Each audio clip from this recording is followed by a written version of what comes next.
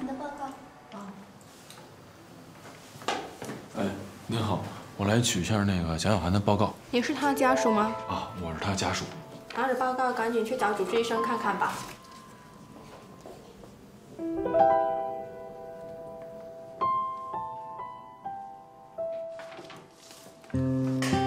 一凡，一凡，一凡，你听我说，一凡，报告出来了，你给我看看。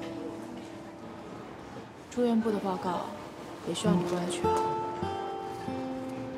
不通常人家都会直接送到病床上吗？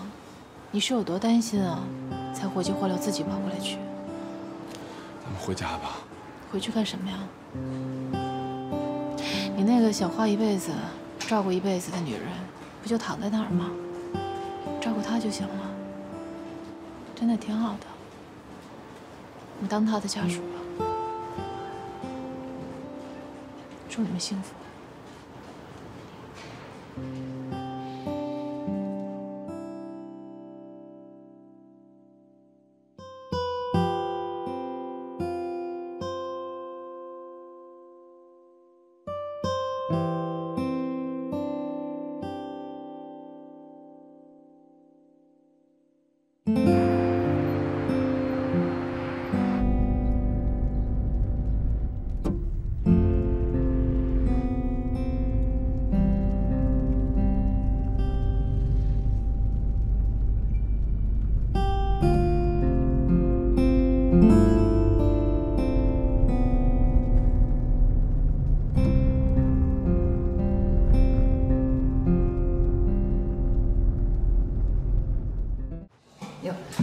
小雪，哎，依林姐，昨天那个王先生，咱不约好了今天这个点儿去他那儿一趟吗？你替我跑一趟。行，我现在就去。好，谢谢啊。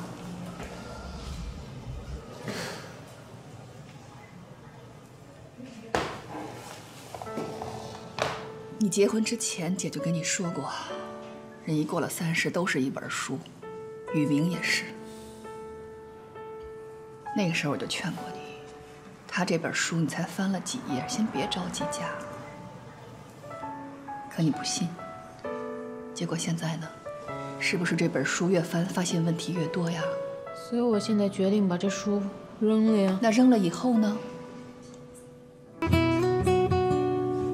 既然看三页你就决定要嫁，就不要幻想越往后翻能让你越来越满意，得要做好让你不满意的思想准备。人生不就是在错误当中成长的吗？好歹我这辈子也算是结过婚了，我也圆满了，我不后悔。那是因为你现在还没离呢，离了之后你就知道后悔的滋味了。一凡，男人啊，稍微有点基础的，离了婚之后都能成抢手货。二十几岁小姑娘挨个排队等着，可是女人呢，只要一过了三十。在大多数男人眼里，首先这个年龄就成了他们淘汰的第一个原因。不是所有的男人都这么世俗吧？是有不世俗的，那也许人家已经结婚了，或者有不世俗的还单着，可人干嘛非得要陪着你这么一个离了婚的大龄剩女疗伤啊？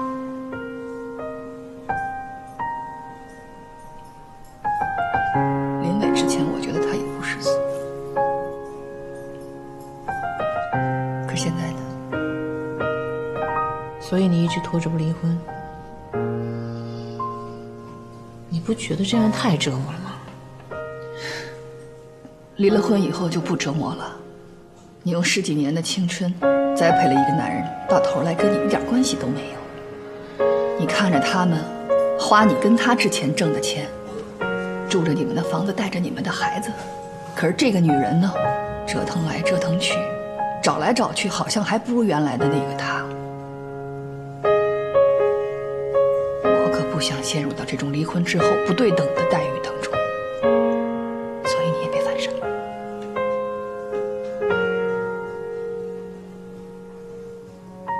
姐，以前我一直觉得你挺清高、挺骄傲的，你什么时候变这么现实的？这个不是姐天生就会。是一点点经历过来的。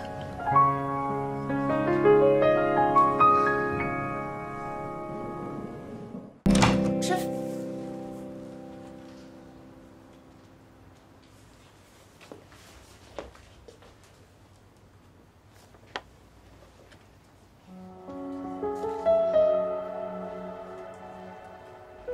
小凡，妈觉得你太冲动了。我的儿子我知道，他现在是摇摆，没骗你，我知道也骗不了你。就是原则问题，雨明绝对不会碰。你，你再给他一点时间。不是，你听我把话说完行吗？喂，喂，怎么说呀？他说雨明要是对条款有意见可以改，然后说忙就挂了。怎么，呃，就这么散了？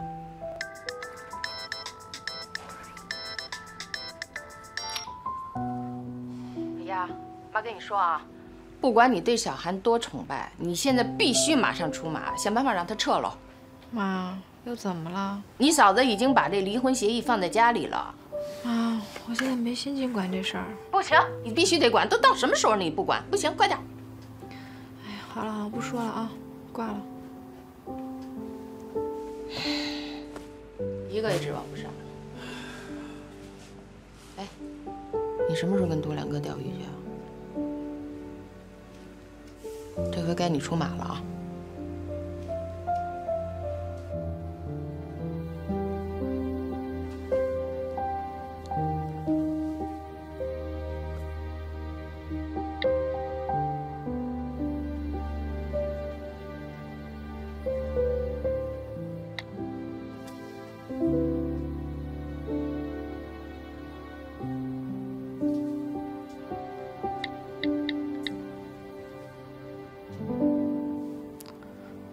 喂，嫂子。嫂子，你说我怎么办呀？我怎么回事啊？你怎么到现在才知道？你没反应啊？我三个月才来一回，而且我问过医生了，说有的人怀孕三个月没反应。你还问过医生了？哎，你这段时间不是跟保时捷大叔，就是跟马坤，你怎么那么不自爱？不是，跟他们都不是，我跟他们什么都没有。跟我撒什么谎？到底是谁的？是不是马阔的？你先帮我想想，我该怎么办嘛？我我我我我知道你不靠谱，真没想到你会这么不靠谱。你自己的身体你自己不知道爱惜啊！哎呀，嫂子，我知道错了。